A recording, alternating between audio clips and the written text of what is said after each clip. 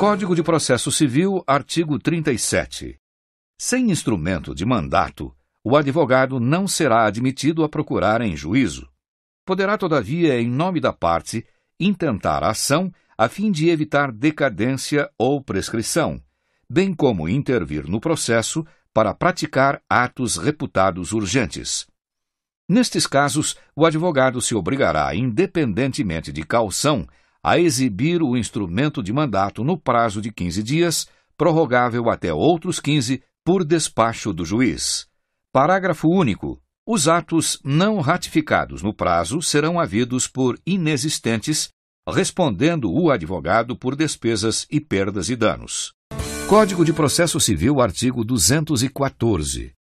Para a validade do processo, é indispensável a citação inicial do réu. Parágrafo 1. O comparecimento espontâneo do réu supre, entretanto, a falta de citação. Código de Processo Civil, artigo 243.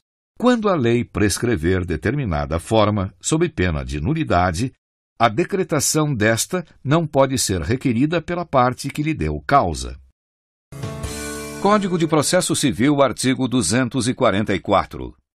Quando a lei prescrever determinada forma sem cominação de nulidade, o juiz considerará válido o ato se realizado de outro modo lhe alcançar a finalidade.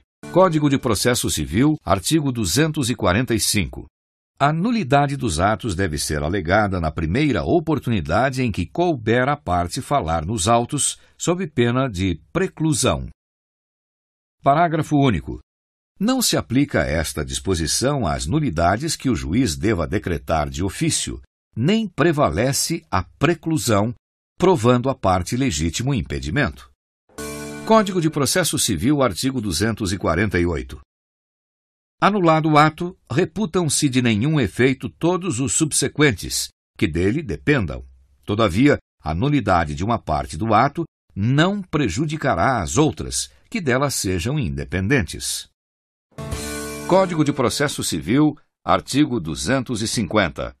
O erro de forma do processo acarreta unicamente a anulação dos atos que não possam ser aproveitados, devendo praticar-se os que forem necessários, a fim de se observarem, quanto possível, as prescrições legais. Parágrafo único. Dar-se-á o aproveitamento dos atos praticados, desde que não resulte prejuízo à defesa. Código de Processo Civil, artigo 249.